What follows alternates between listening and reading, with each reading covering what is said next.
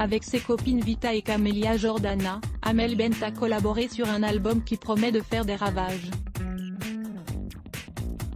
Sorore, qui signifie sœur en latin, contient de nombreuses reprises des plus grands tubes des trois chanteuses.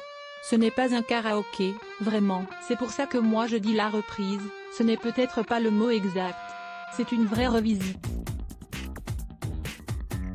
On réinvente chacun de ces morceaux et ça a été un ascenseur émotionnel pour toutes les trois, a d'abord confié la maman de Sophia Yana. Elle évoque ensuite le processus de création de l'album. Parfois, ça boudait un peu. Mais pourquoi vous avez touché à cette note? J'y tiens. Il y a eu des larmes en fait, pour un accord changé, dit-elle avant d'ajouter, c'est bien aussi en tant qu'artiste de se rendre compte à quel point, les chansons, nos chansons, on les aime. Elle raconte un morceau de notre histoire très fort, avec notre public, et changer un tout petit bout de ce truc-là, c'est presque une trahison, parfois.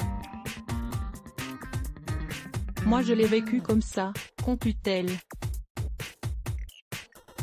Amel précise qu'elle n'avait pas envie de trahir cette chanson avant d'ajouter, finalement, et c'est le plus important, à la fin ça a été l'unanimité. De son côté, Camélia Jordana explique, on a mis 10 jours à se mettre d'accord sur la photo qui figure sur la pochette de l'album. Cet album très personnel est disponible dès aujourd'hui, vendredi 4 juin. La rédac à lire aussi à Blog Test. Why?